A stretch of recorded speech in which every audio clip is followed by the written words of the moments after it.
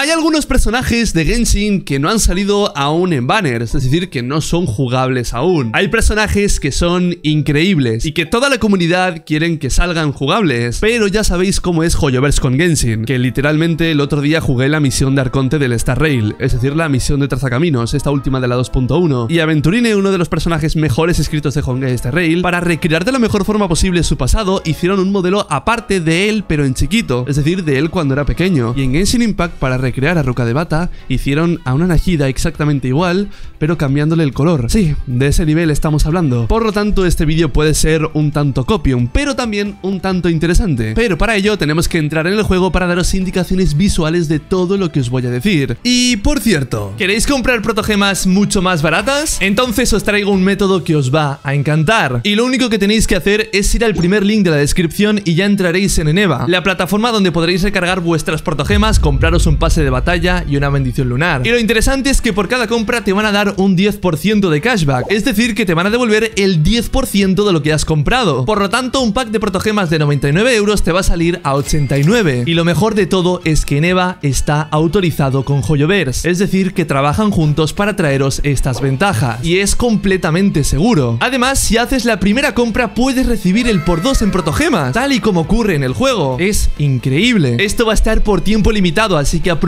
cuanto puedas. Link en primera línea de la descripción. Darle duro. Bien amigos, de los personajes de los que voy a hablar ahora mismo, hay algunos que os esperáis y hay algunos que no os esperáis para nada y que no os acordáis de estos mismos. O para los nuevos jugadores no les ponéis cara o no sabéis quiénes son aún. Porque sí, voy a decir los típicos y los no típicos. Vamos a empezar por el primero de todos, el más típico y el que creo que todo el mundo quiere que sea jugable. Y no, no es ese que estáis pensando, estamos hablando de Yecht. Yecht es una NPC de Sumeru, proveniente del desierto, y es nuestra acompañante durante las misiones de mundo principales de esta región, más bien del desierto. Incluso voy a haceros algún que otro spoiler. Tenemos cinemáticas del juego como esta, en la que una zona del desierto, un mausoleo, un templo, se va destruyendo y vemos morir al padre de Yecht. Es decir, que tiene cierto trasfondo el personaje, a pesar de ser un NPC. Y esto es muy interesante. Nos acompaña durante muchísimo tiempo a las misiones de mundo y no solo eso, sino que el diseño del propio personaje mola muchísimo. Una minita bastante linda que perfectamente podría ser un personaje jugable. Si Joyoverse nos la hubiese colado como personaje jugable en un banner, no nos quejaríamos en lo absoluto, porque tiene un diseño merecedor de ser un personaje jugable y además es bastante carismática, la verdad. Incluso más carismática que los tabibitos, porque el verdadero carisma de los personajes principales de Genshin está en este bicho gordo de aquí y muy adorable, te quiero, Paimon. Así que podemos decir que Jax perfectamente puede convertirse en un personaje jugable en un futuro. Puede ser en otro ciclo Samsara, puede ser en un futuro y que Joyoverse nos sorprenda. Bueno, realmente ya estoy harto de hacer copium todo el rato en todos los vídeos, así que lo dejaremos como una incógnita que realmente no sabemos si se podrá resolver. Pero hay indicios de que Joyoverse ama bastante a Yecht como personaje. Uno de ellos es, por ejemplo, este tweet que estáis viendo en pantalla, publicado por la cuenta oficial de Genshin Impact, felicitando el cumpleaños del personaje de Yecht, siendo que no es un personaje jugable. Y además viéndole un ojo por primera vez, porque Yecht siempre ha tenido una venda en los ojos. Además de que los fans le tenemos muchísimo cariño al personaje. En el Joyo Fair del año pasado, que por cierto, dentro de una semanita y pico es el Joyo Fair de 2024, y estaremos aquí en directo reaccionándolo, no os lo perdáis. Pero bueno, para quien no lo sepa, Joyo Fair es un evento que se celebra anualmente, en el que los fans hacen animaciones y fanarts para Genshin Impact y es un concurso. Y en ese evento salen todas las mejores animaciones que han hecho los fans. Y en una de ellas, esta que estáis viendo en pantalla, sale Jecht destapándose la venda de los ojos y viéndole los dos ojitos por primera vez y esto pues se ha hecho canon debido a la imagen oficial de Joyoverse en Twitter, porque los ojos son exactamente iguales a los de la imagen oficial y este fanart salió antes de esa imagen de Joyoverse. Y también tenemos por aquí un drip marketing hecho por un fan también, es un fanart, pero si esto fuese publicado en la cuenta de Joyoverse de forma oficial, nadie nos daríamos cuenta de que esto lo ha hecho un fan. Así que Jecht podría ser una carta muy buena para Joyoverse en un futuro cuando volvamos a Y cuando Dotore queme el Irminsul para hacer a Jecht un personaje jugable. Pero bueno, no me gusta el copium, así que lo dejamos ahí. Y luego como otro personaje que podría llegar en un futuro tenemos a su compañera, a la compañera de Jecht, que por cierto creo que nos traiciona o algo así las misiones de mundo, ya ni me acuerdo, llamada Babel o Babel. Que madre de Dios, Babel... Eh...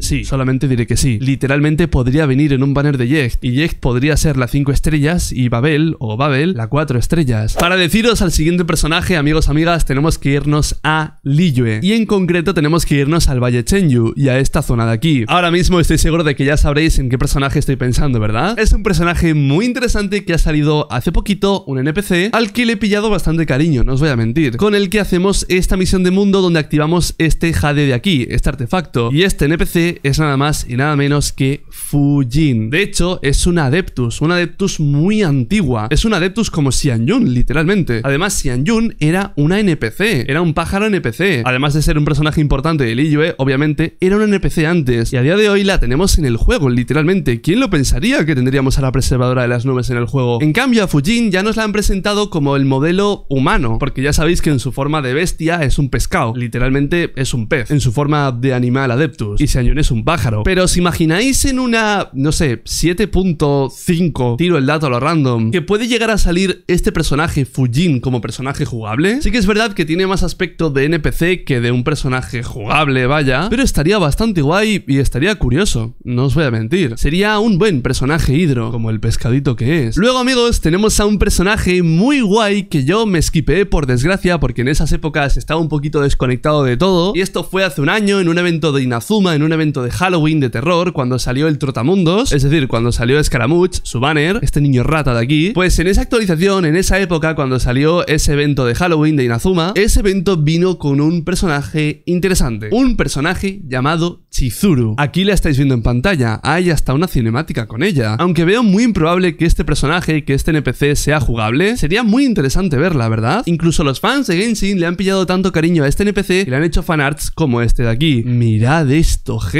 Y esta es una NPC, es Chizuru. Aunque su diseño no sea un diseño de un personaje 4 o 5 estrellas, ¿se acercaría a uno de un personaje 4 estrellas? Yo creo que en un 50%. Así que no creo que sea un personaje jugable, pero quién sabe en un futuro si puede llegar a pasar algo. Copium. Luego, amigos, tenemos a otro personaje que nos presentan en Sumeru, en la nación del dendro y de los porros. Mi nación favorita. De hecho, creo que es de aquí el personaje. ¿Puede ser de la aldea Bimara? Y el personaje, amigos, amigas, es nada más y nada menos que Rana. Es el personaje principal de las misiones de mundo de Sumeru del bosque, del desierto, es Yeg, y esta misma de hecho se queda atrapada durante un tiempo hasta que conseguimos hacer todas las misiones de los Aranaras, o bueno, las misiones principales de los Aranaras, y conseguimos rescatarla. Y de hecho, si no mal recuerdo, al final de estas misiones se le otorga una visión dentro, ¿verdad? Aquí creo que me estoy fumando un porro, no lo sé, no me acuerdo, Nakira, dímelo, ¿le has dado una visión dentro a la rana, sí o no? Vale. Pero bueno, Rana también sería muy interesante como un personaje jugable. Eso sí, no creo que tenga un diseño de un personaje 4 estrellas ni mucho menos, porque es un NPC. Pero bueno, si la bufean para el futuro y hacen un time skip y hacen a Rana jugable, pues oye, yo estaría contento. Aunque bueno, tampoco es nada del otro mundo. Y aquí ya, amigos, entramos en un terreno en el que nos salimos del copium. Y el primer personaje, amigos, amigas, es Gizong. Sí, la novia de Zhongli muerta. Obviamente no es la novia de forma canónica, pero bueno, todos la shipeamos con él. Gizong, aquella compañera de Xianyun y Zhongli aquella que murió hace muchos años en la Guerra de los Arcontes, y que casualmente se parece muchísimo a Sandrone, una de los once heraldos Fatui, así que no sería nada descabellado que en el futuro la hicieran jugable tal y como han hecho a Xianyun, es decir, que todo el club de amigos de Zhongli, por así decirlo, los más importantes, se hagan jugables, y que de alguna forma Gizong reviva o resucite, no sabemos cómo aún, y que finalmente se haga jugable. Yo esto sí que lo veo muy claro, creo que todos los jugadores de Genshin lo vemos muy claro, que en un futuro va a pasar. Esto no es nada de Copium, 100% creo que Gizong va a ser jugable en un futuro. No sabemos cuándo, pero estoy segurísimo de que va a ocurrir, así que damos a Gizong como futuro personaje 100%. Y luego, amigos, tenemos a la Signora. Ya sabéis, la Fatui papeada, fallecida por la Raiden Shogun. Un personaje que mucha gente, yo incluido, queremos que vuelva. Aquí sí que hay un poquito de Copium, no tanto porque, oye, puede pasar que en un futuro la revivan de alguna forma y que la hagan jugable, literalmente Joyoverse estaría perdiendo dinero si no hacen eso. Y ya sabéis que a las empresas les gusta mucho el dinero. Diría que de estas opciones que estoy comentando ahora mismo, que son las no Copium, esta es la más Copium, ¿vale? Porque bueno, a fin de cuentas, si la señora no se ha hecho jugable en la época de Inazuma, cuando la Raiden la mató, porque bueno, la mató y por eso no se hizo jugable, pues es muy improbable que en el futuro se haga, ¿no? Pero hay opciones. Una de ellas es que resucite por la cara en Atlan o en alguna región que no sabemos cómo lo hará. Y otra opción es que en otro ciclo Samsara, cuando se acabe el capítulo de Teyvat, porque ya sabéis que hay muchos ciclos Samsaras, Remuria, Kaenria, etcétera, pues que renazca de nuevo nuevo las ignora porque eso pasa por cada ciclo samsara. Es decir, los personajes que mueren en el siguiente ciclo samsara renacen. Así que estaría guay que Hoyoverse metiese esa excusa para hacerla jugable. Y creo que no tendríamos ninguna opción más. ¿Qué opináis vosotros? Así que bueno, después de este porro que me acabo de fumar, eh... me voy. Adiós.